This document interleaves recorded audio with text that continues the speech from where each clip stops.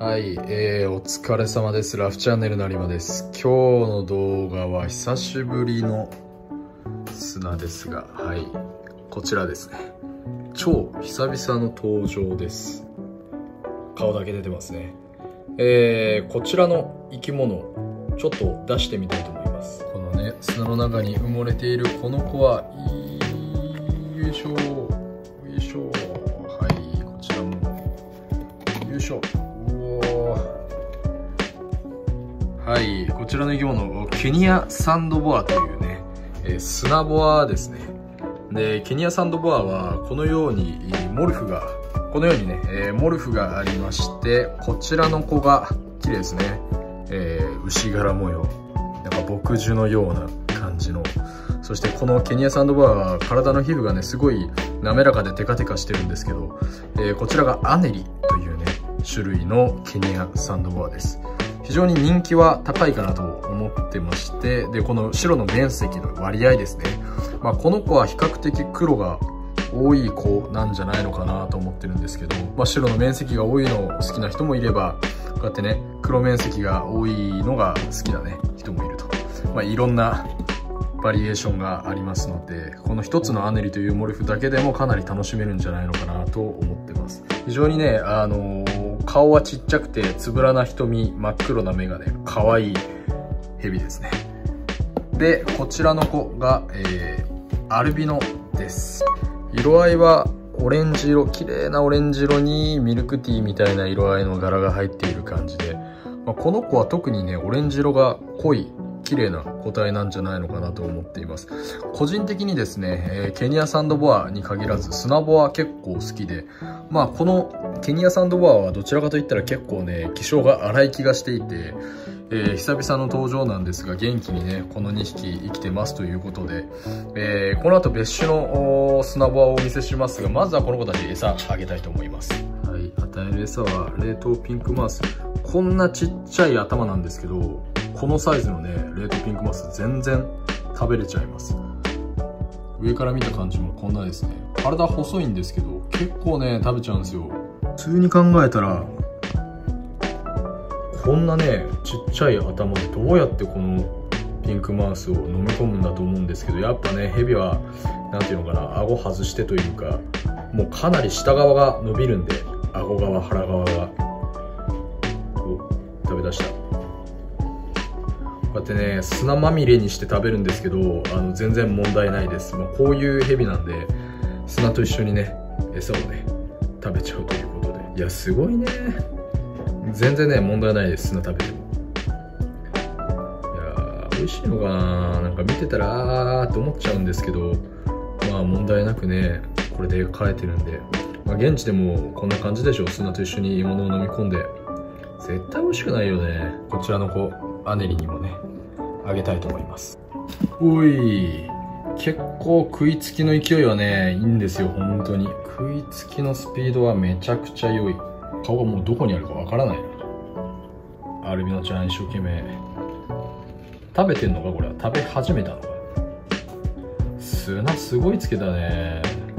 はい2匹ともね獲物を捉えてからちょっとフリーズしちゃったんでその間にもう一種のね、えー、砂ボア紹介したいと思います。はいもう一種の砂ボアがこちらですね今1匹見えててもう1匹ちょっと隠れてる。よいしょ。うー見て。すごいね。うわうわはい。こちら。結構サイズ大きいでしょ。さっきのケニアサンドボアに比べたらだいぶね大きさがでかいですね。いやーにしてもやっぱ全然太さとかサイズ違うなケニアサンドボアなかなか大きくならないですね。まだちっちゃいまんまだわ。でかはいこちらの子がですね、えー、ミューラサンドボアというね、えー、砂ボアです。ケニアサンドボアと違ってね顔が見てちょっと鋭い目してるでしょはい。真正面から見たらこんなですね。あ嫌がってる。ちょっとね目がね鋭い顔してるんですよね。ケニアサンドボアはあのつぶらな真っ黒な瞳だったんですけど三浦さんの方はちょっと鋭いなんかちょっと恐ろしい目をしてますがまあとはいえまあ見てもらったら分かる通りねこうやって持ってしまえば全然ね気性は荒くないというかすごい しっかり掴まれてる。持ってしまえばね全然気性は荒くないです。なんならケニアサンドボアの方がね噛みついてくる感じですね。こちらも。おおちょっとね機嫌が悪いとこうやって怒られるけど噛んでくるっていうよりなんか体をくねらせるって感じですね、まあ、とはいえこうやって持ってしまえばね落ち着いてますね。この子ちょっとね背中の柄が面白くてなんかわかるかな。うねうねうねうねってね模様がうねうねうねうねってなってちょっと変わった感じの柄で面白いんですけど。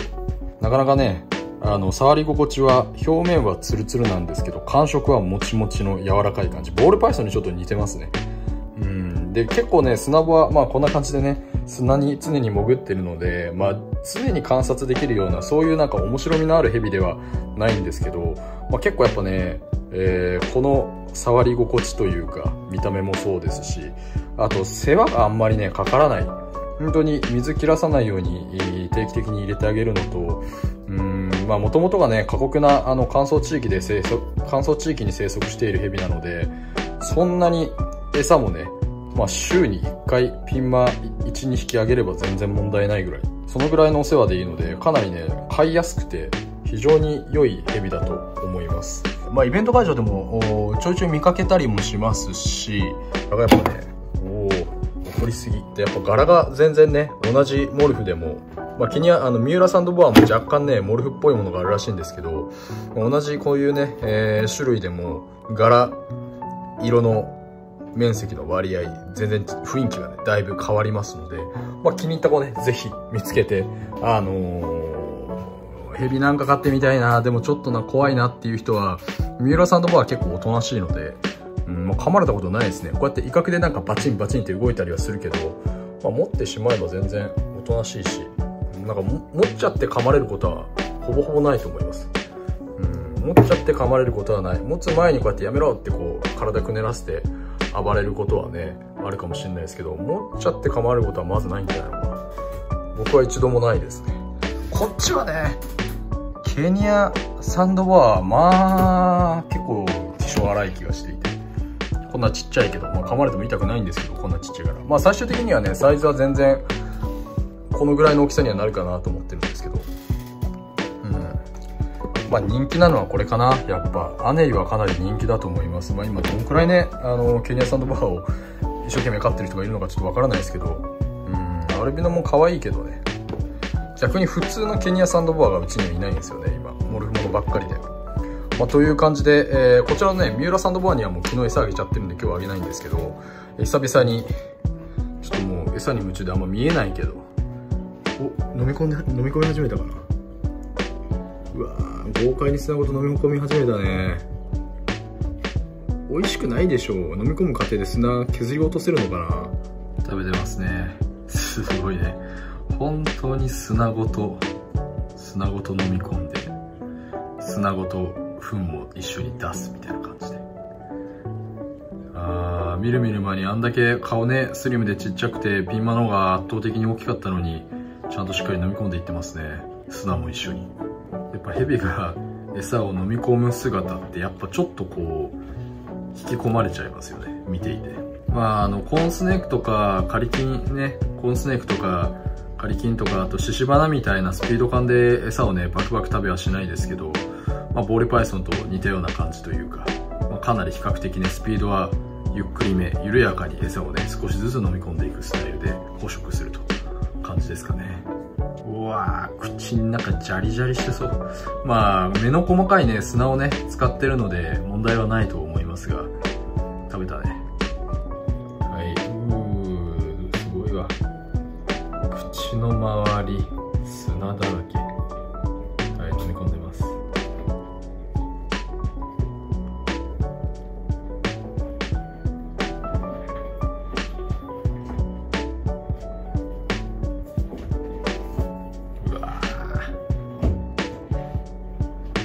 はい、という感じでね、えー、本日は超久しぶりの登場でしたが、うちで飼育している砂ボア系ですね。ケニアサンドボアのアネリとアルビノ。そして、はい、こちら、三浦サンドボアですね。もう一匹潜っちゃったけど、砂場をね、えー、ご紹介させていただきました。まあ、非常にいい、まあ、言い方あれですけど、管理手間かからないのと、飼育しやすいのと、まあ、ケニアサンドバーちょっとね、なんか、うおちょっとこう、危ない感じはするけど、結構ね、おお怒りんぼで、でも三浦サンドバーはね顔はちょっと怖い感じだけど、まあ、触っちゃえば全然噛んできたりしないし、まあ、触る前にちょっとつついてもなんか体ピクンってうねらせるだけの威嚇なんで非常にねおとなしくて飼いやすいヘビでおすすめですということで今日はうちの砂場を皆さんにご紹介させていただきました。また今後もねある程度大きくなったら動画に出そうかなと思ってますので気になる方は是非チャンネル登録して楽しみに待っていてください。それでは本日の動画この辺にしておきたいと思います。また次の動画でお会いしましょう。バイバイ。